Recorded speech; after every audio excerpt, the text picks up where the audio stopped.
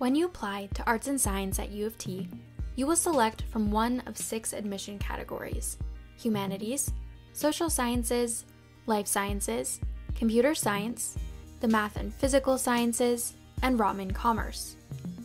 Your admission category will help give you priority into the required courses you need to get into your program of choice.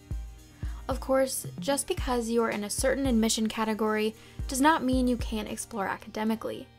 In fact, since you don't have to choose your program of study until you have completed four credits, you have your entire first year to explore courses from over 300 undergraduate programs and discover areas of interest you've maybe never studied before.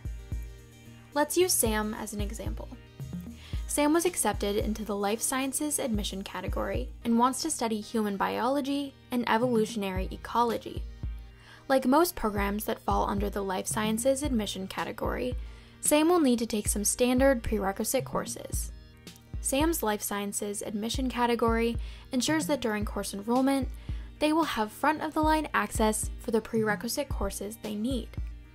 Just like Sam, you are responsible for taking the courses required for your future programs, but you will be encouraged to try new subjects during your first year. And even though you've begun your studies in one admission category, it doesn't mean you are limited to only study certain subjects. Many students end up exploring outside their admission category and find a program they absolutely love. You never know what you might discover.